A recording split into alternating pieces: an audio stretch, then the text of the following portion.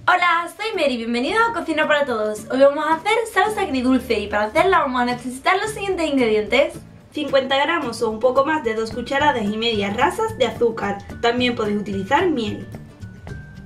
25 mililitros o un poco más de una cucharada y media de ketchup o salsa de tomate.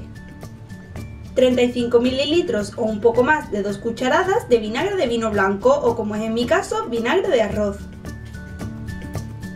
40 mililitros o 2 cucharadas y media de agua. Y 5 gramos o media cucharadita de maicena o almidón de maíz. Lo primero que vamos a hacer es disolver la maicena en el agua.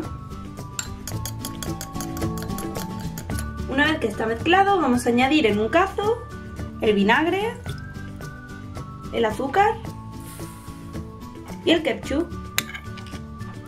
Lo ponemos a fuego medio y vamos moviéndolo hasta que esté caliente.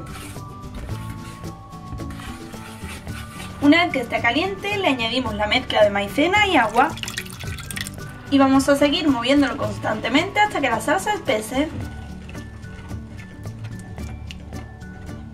Después de unos minutos, como podéis ver, la salsa ya ha espesado, así que apagamos el fuego y la retiramos.